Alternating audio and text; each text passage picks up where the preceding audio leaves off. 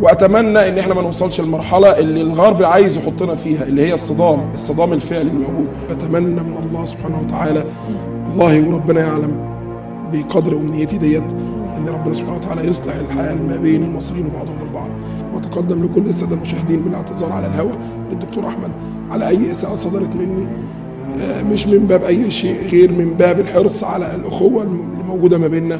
فأنا بدعو كل المصريين من هنا.